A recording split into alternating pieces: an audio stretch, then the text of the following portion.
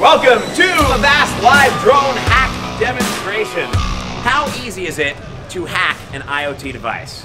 Well, instead of telling you, we thought it'd be a lot more fun to show you. At this point, I want to introduce two of my colleagues from Avast. We have Mikkel and Martin. For the next five minutes, they'll be playing the roles of the good guy and the bad guy. Now, every time I say Mikkel, I need you guys to cheer because he's the good guy.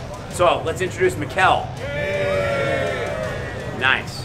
But here comes Martin, our bad guy. Oh, you guys are good. All right, so Mikkel is connecting his phone here. So we're gonna get a live video feed from the drone. You are right in the line of fire, sir.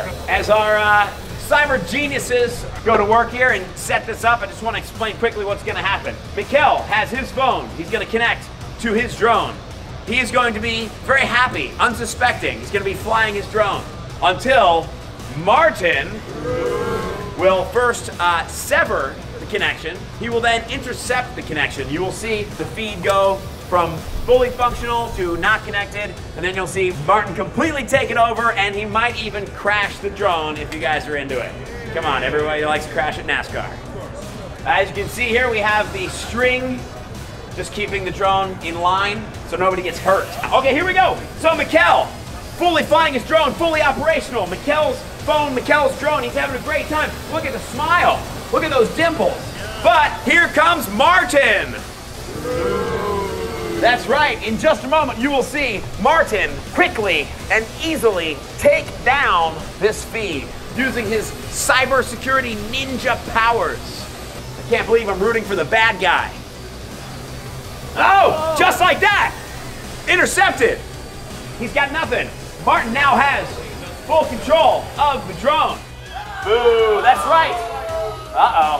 Mikhail's fighting back, trying to regain the signal. But no. Take it over, Martin. Go crazy. He's got it. Send it up. You guys want to see him crash it? Kill the drone! Holy cow! Easy, Martin. Easy. Or bring it to a nice safe landing. This is where you guys applaud. That's right. That was the big moment. Don't leave yet, sir. I'm just bringing it home. You're what? You're fine. He's fine. No, anyway, that was really a, a, successful hack there. Do you see? It took probably what 30 seconds. So give a big round of applause to both Mikkel, our good guy, and Martin, our bad guy. Three.